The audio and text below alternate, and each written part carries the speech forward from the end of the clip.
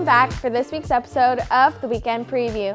I'm Holly, and this is Karen, and this week we're covering January 20th, 21st, and 22nd.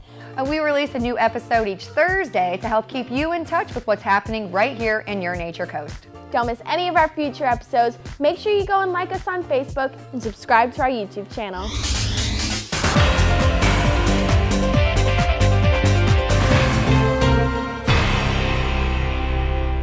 I'm Eric Riggins with Smoking Good Barbecue, bringing you this weekend's forecast. This weekend forecast was to be in the high 70s, dropping down to the low 50s and 60s, uh, starting off partly cloudy, uh, but on Sunday, just expect a few thunderstorms.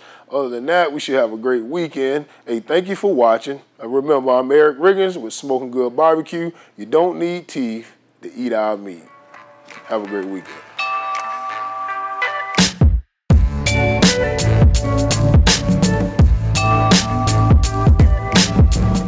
Hi, my name is attorney Sandra Day. I practice at the Day Law Office with my husband David Day. We've been in practice since 2000 here in Hernando County, and we just really opened our practice with the intent of making a difference in our community. My wife and I focus on the areas of family law, bankruptcy, estate planning, and probate. People ask me why I love what I do. These notes are reminders of how I help people. Thank you for giving me my life back. You and your staff were so wonderful. When I look at these thank you notes, it's a constant reminder of why I do what I do. We can definitely do everything we need to do to get you to where you want to be.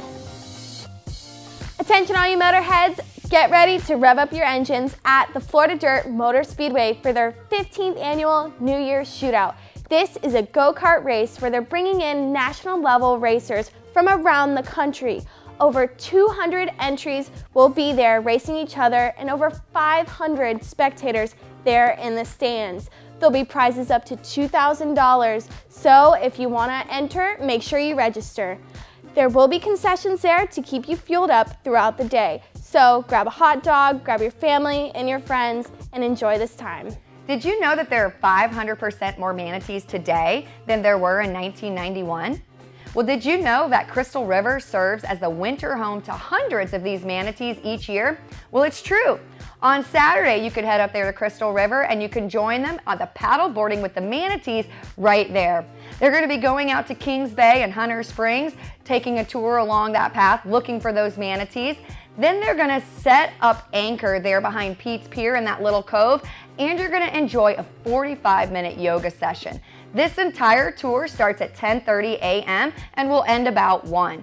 There is a fee to participate in this class, but you're bound to have some beauty as you find these magnificent creatures along the way in Crystal River. Hey all you history buffs, coming up for you this weekend is the most perfect event for you. It's the 37th annual Brooksville Raid, which goes through Saturday and Sunday. That's right. This is a Civil War reenactment of an actual battle that happened here in Brooksville in 1864. They're going to be having over 1,500 reenactors and their families there reliving this epic battle.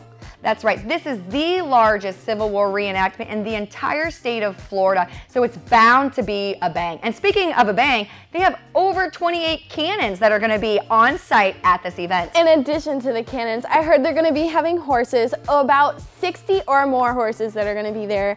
Maybe they'll let me ride one. Maybe, maybe. But if they don't, they still have 50 settlers, otherwise known as vendors, that are going to be there for you to actually walk around and mingle with. Yes, the vendors are going to be having kettle corn as well as some Civil War items and memorabilia and some old-fashioned root beer there for you too. Holly, I know you didn't forget to tell them to try the fry bread while they're there. You guys can't miss the fry bread. I heard it's one of the topmost things that you have to get while you're there. That's right. As you heard Holly say, this is a two-day event that kicks off on Saturday and then runs through Sunday. You can go to our website and look at that post and you'll find the full list of activities. Animals are welcome at the event, but they are required to be on a leash. For any additional information about these events or any of our other events, make sure you go to our Facebook page and click on that events tab. And make sure you stick around because our featured event is coming up after this.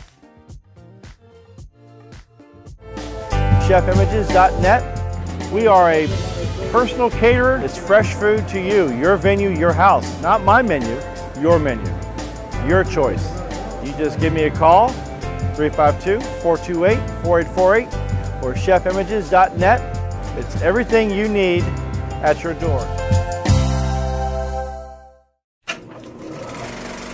We have Split rated PG 13. Who is that? Maybe she can help us. We're here! Help us! We're in here! Don't worry. He's not allowed to touch you. He knows what you're here for. He listens to me.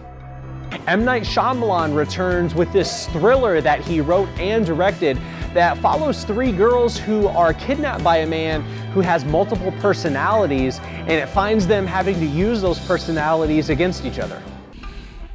The beast is real.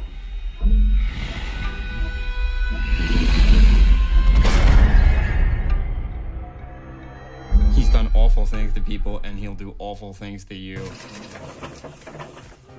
Do you live in Pasco County? Do you want to know what programs and schools are available to you or your children? Head to Pasco Safety Town for their Celebrate Youth event happening. This is our main event and we are so excited to tell you much more about it. That's right, Celebrate Youth is actually kicking off National School Choice Week and is Pasco County's spotlight event. This is a place where you're going to find information about public and private school options for you and your family. There are going to be various scholarship opportunities as well as special programs like the IB program, as well as Florida Virtual School and much, much more. That's true. And Pasco Hernando Early Learning Coalition is going to be on site to give you some information about the voluntary pre-kindergarten program and their school readiness program in addition to giving away books to all of your preschoolers that show up. That's so nice of a cause. As well as the petting zoo, I heard is gonna be there. Bounce houses, come on, let's get excited guys. Yeah, that's right. PlayStation will be there with various activities, including the bounce house and a rock climbing wall. Investigation Station is gonna be bringing their traveling children's museum to keep the kids occupied throughout the day. So it is gonna be so fun. Lots of live entertainment for you there all day, whether it be a DJ, I heard Shayla Faring's gonna be there, a local celebrity as well as school choirs. That's true. And it's a free event that's open to the public. They want you to come out and enjoy. They're giving away 500 gifts to the first 500 families that arrive. The event does start at 10 a.m. and runs through 4. Again, it's on Saturday at Pasco Safety Town. So grab your family and head out to see what education opportunities lie for you right here. Thank you guys so much for watching us on this week's episode of The Weekend Preview. If you have an upcoming event that you would like considered for one of our episodes, you can email us at media at naturecoast.tv and we'll see you next week.